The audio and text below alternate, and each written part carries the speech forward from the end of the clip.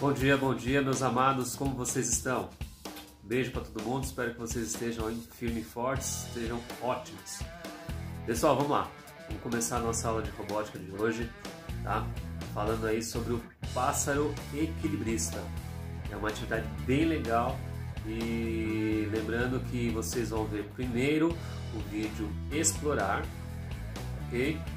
Depois vocês vão ver o vídeo criar vão precisar dos materiais, já vou deixar todos os materiais separados lá.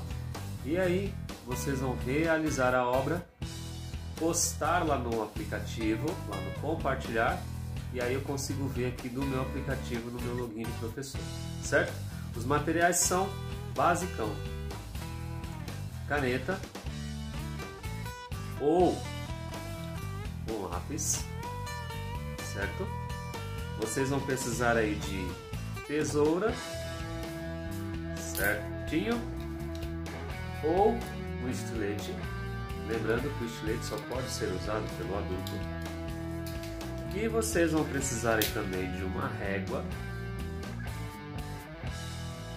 E também vão precisar aí de uma folha de sulfite. Certo, galerinha?